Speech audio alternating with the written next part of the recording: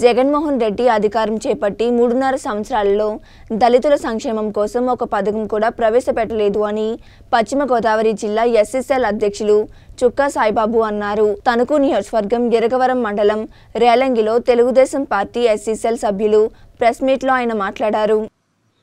గత ప్రభుత్వం అమలు చేసిన ఇరవై ఏడు పథకాలను రద్దు చేసి ఎస్సీ ఎస్టీల విద్య ఉద్యోగ ఆర్థిక మూలాలపై దెబ్బకొట్టిన ముఖ్యమంత్రి జగన్మోహన్ రెడ్డి తెలుగుదేశం ప్రభుత్వం దళితులు విదేశాల్లో ఉన్నత విద్యలు అభ్యసించడానికి డాక్టర్ బిఆర్ అంబేద్కర్ విద్యా పథకాన్ని ప్రవేశపెట్టి సుమారు నాలుగు వేల ఐదు వందల ఇరవై ఎనిమిది మంది విద్యార్థిని విద్యార్థులు డాక్టర్లుగా ఇంజనీర్లుగా తీర్చిదిద్దడానికి మూడు వందల డెబ్బై ఏడు పాయింట్ ఏడు కోట్ల రూపాయలు ఖర్చు పెట్టడం జరిగిందన్నారు. ఈ ప్రభుత్వం అధికారంలోకి వచ్చి డాక్టర్ బిఆర్ అంబేద్కర్ విదేశీ విద్యా పథకాన్ని తీసివేసి జగనన్న విద్యా పథకంగా పెట్టడం ముమ్మాటికి అంబేద్కర్ని అవమానం చేయడమే అన్నారు. ఈ కార్యక్రమంలో ఎస్ఎస్ఎల్ జిల్లా అధికార ప్రతినిధి దండపాటి రాజు జిల్లా కార్యదర్శి కలిగితి దయానందమూర్తి మండల ఎస్పీసెల్ అధ్యక్షులు తేలి చిట్టుబాబు తదితరులు పాల్గొన్నారు. ఈ సందర్భంగా వారు మాట్లాడుతూ ముంపు బాధితులకు ఆహారం త్రాగునీరు అందించడంలో అధికార యంత్రాంగం పూర్తిగా విఫలమైందని విమర్శించారు. నిర్వాసితుల కొరకు నిర్మించిన ఇళ్ళకు కనీస సౌకర్యాలు కల్పించలేదని అన్నారు. పోలవరం ప్రాజెక్టు పరిధిలో ఉన్న గ్రామాలను గోదావరి చుట్టుముట్టడంతో ప్రజలు చాలా ఇబ్బందులు పడుతున్నారని అన్నారు. అలాగే ముంపు బాధితుల కుటుంబాలకు ఇరవై వేల రూపాయలు తక్షణ సాయంగా ప్రభుత్వం అందజేయాలని వారు డిమాండ్ చేశారు. స్థానిక హనుమాన్ నగర్ సిపిఎం కాలనీ పంతొమ్మిది డివిజన్ ఇన్ఛార్జ్ పైడి వెంకట్రావు ఆధ్వర్యంలో ప్రారంభమైంది. ప్రతి ఇంటికి వెళ్ళిన బడేటి చంటి ప్రజల కష్టాలు తెలుసుకున్నారు. ఈ ప్రభుత్వ హయాంలో జరుగుతున్న దారుణాలను వారికి వివరించి చంద్రబాబు అధికారంలోకి రావాల్సిన అవసరాన్ని వారికి వివరిస్తూ ముందుకు సాగారు. ఈ సందర్భంగా ప్రభుత్వ తీరును ఎండగడుతూ ముద్రించిన కరపత్రాలను పంపిణీ చేశారు. అనంతరం బడేటి చంటి మాట్లాడుతూ సర్కారే కల్తీ మద్యాన్ని విక్రయిస్తున్న చరిత్ర దేశంలో మరెక్కడా లేదన్నారు. ఈ కార్యక్రమంలో పార్టీ నాయకులు పాలి ప్రసాద్ ఉప్పాల జగదీష్ బాబు నెర్సు గంగరాజు తదితరులు పాల్గొన్నారు. ఈ కార్యక్రమంలో సిపిఎం జిల్లా కార్యదర్శి వర్గ సభ్యులు కేతా గోపాల్ సిపిఎం మండల కార్యదర్శి ఉన్నమట్ల దుర్గాప్రసాద్ మండల కమిటీ సభ్యులు వద్దిపర్తి అంజిబాబు ఎస్విఎన్ శర్మ తదితరులు పాల్గొన్నారు.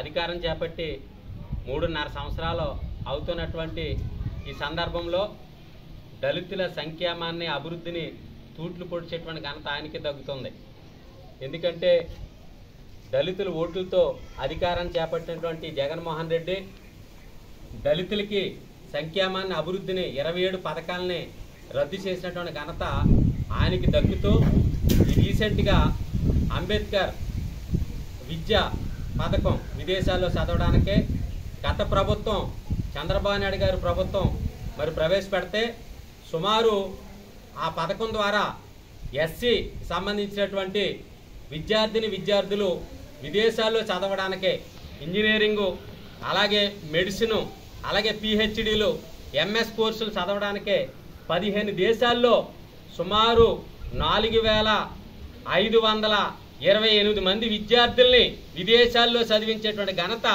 చంద్రబాబు నాయుడు గారికి దక్కుతుంది.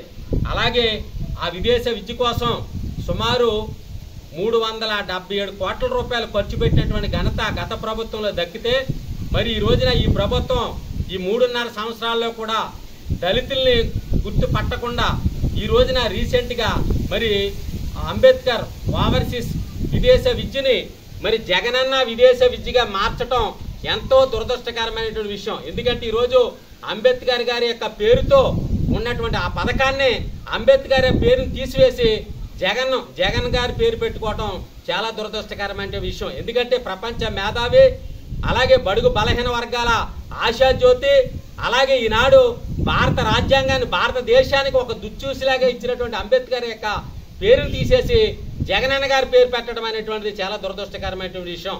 ఈ రోజున మనం చూసినట్లయితే మరి కోనసీమ మరి జిల్లాకి అంబేద్కర్ గారి పేరు ఆ రోజున పెట్టడానికే ఈ ప్రభుత్వం వెనకాడింది. ఇరవై ఆరు జిల్లాల పేర్లు ప్రకటించి కేవలం అంబేద్కర్ గారి పేరుని ప్రకటించకుండా కాలయాపనం చేసి అక్కడ కులాలతోనూ మతాలతోనూ వర్గాలతోనూ ప్రాంతాలతోనూ విభేదాలు పుట్టించి కులాల మధ్య జాతుల మధ్య ప్రాంతాల మధ్య చిచ్చు పెట్టినటువంటి ఏకైక ప్రభుత్వం ఈ వైఎస్ఆర్సీపీ ప్రభుత్వం అని ఈ సభాముఖంగా తెలియపరచుకుంటున్నాను. ఎందుకంటే ఆ రోజు ఇరవై ఆరు జిల్లాల్లో అంబేద్కర్ గారి పేరు పెట్టడానికి మరి వెనకాడినటువంటి ఈ ప్రభుత్వం ఈ రోజున మరి అంబేద్కర్ గారి యొక్క విదేశ విద్యను అభ్యసించే అంబేద్కర్ గారి పేరుని తొలగించి జగనన్న గారి పేరు పెట్టడం ఎంతవరకు సమంజసమని ఈ సభ తెలియపరుచుకుంటూ ఈ ప్రభుత్వం అధికారంలోకి వచ్చిన తర్వాత మరి సప్లాన్ నిధుల్ని వేల కోట్ల రూపాయలు ఈ రోజున దళితుల యొక్క సప్లాన్ నిధుల్ని పక్కదావ పట్టించినటువంటి ప్రభుత్వం. అలాగే గత ప్రభుత్వంలో ఇరవై ఏడు పథకాలు గత ప్రభుత్వం ప్రవేశపెడితే ఆ ఇరవై ఇరవై ఏడు పథకాలను కూడా మరి అమలు చేయకుండా రద్దు చేసినటువంటి ప్రభుత్వం ఈ వైఎస్ఆర్సీపీ ప్రభుత్వం.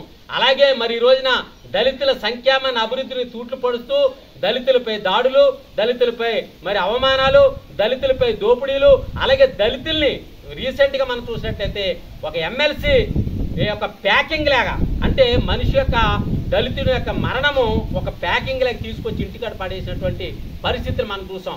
అలాగే మరి ఆ యొక్క డాక్టర్ గారితో మొదలైనటువంటి హత్యలు ఈ రోజున నెల్లూరు వరకు కూడా మరి పాకుతుందంటే మరి ఎంతవరకు ఈ రోజున ఈ దళితులకి ఈ ప్రభుత్వం ఏం చేస్తుంది? అసలు దళితులకి ఈ ప్రభుత్వం ఏం చేసింది మూడున్నర సంవత్సరాలు అసలు దళితులు ఈ ప్రభుత్వానికే ఎందుకు ఓటేయాలి? ఆ రోజున ఒక్క ఛాన్స్ అని చెప్పి రెండు వేల పంతొమ్మిదిలో దళితులందరినీ ఓటేయడం జరిగింది.